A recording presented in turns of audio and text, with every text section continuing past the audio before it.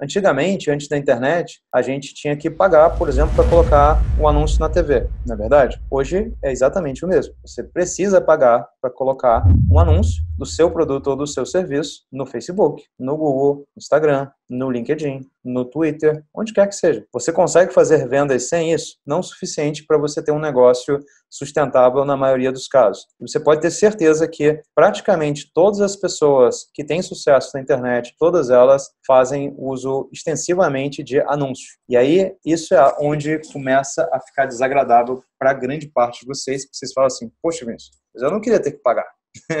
Essa parte eu não gostei. Eu vou ter que investir para poder alguém saber de mim, mas eu até pouco tempo atrás eu podia fazer isso de graça. É, podia, mas agora não pode muito mais. Só que tem uma boa notícia nessa história toda. Antigamente, para começo de conversa, era muito caro, realmente muito caro você fazer anúncio, especialmente em alguma mídia relevante como uma TV. Mas, hoje em dia, fazer anúncio nessas mídias que existem é muito barato em comparação ao que era antes. Isso significa que hoje é muito mais acessível para qualquer negócio, seja qual for o tamanho dele, entrar e começar a vender na internet. Tá? Seu nível de investimento nem de longe se compara ao que era no passado. Então, isso, por um lado, é algo bom. Mas tem um detalhe adicional. Quando você anunciava na TV e você, de repente, anunciava lá na novela das oito, beleza, ter um monte de gente que ia ver o seu anúncio. Só que não havia nenhum tipo de segmentação nesse anúncio. O que, que significa isso? Você estava anunciando a mesma mensagem para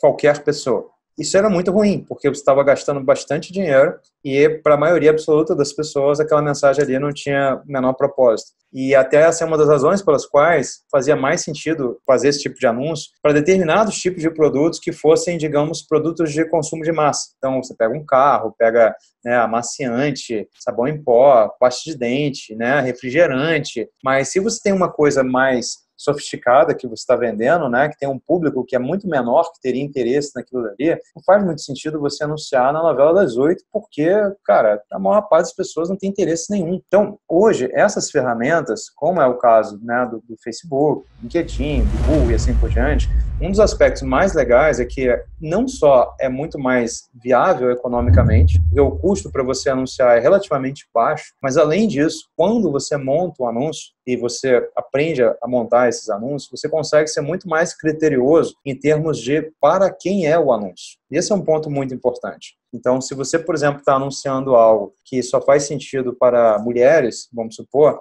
então, é, você consegue muito claramente dizer, olha, não só mostra esse anúncio para mulheres. Se você, ao mesmo tempo, está anunciando algo que só faz sentido para mulheres dentro de uma faixa etária, digamos que é de 20 aos 25, você vai poder dizer isso com muita clareza, na forma como você estrutura o seu anúncio. Então, isso também é algo bom. O que eu quero dizer aqui? Hoje, você tem que pagar pelo anúncio? Sim, mas não da maneira como era no passado. Primeiro, porque o investimento é menor. Segundo, porque o investimento ele é feito de uma maneira mais inteligente. E o fato é que as pessoas elas realmente estão o tempo todo nas redes sociais. Então, especialmente quando você faz anúncio em grandes redes como o Facebook e o Instagram, o que eu tenho para dizer para vocês, sem a menor sombra de dúvida, por experiência própria e de todo mundo que eu conheço que está nesse jogo, funciona simplesmente funciona. Em pouco tempo, você consegue atrair um grande número de pessoas com um investimento relativamente baixo.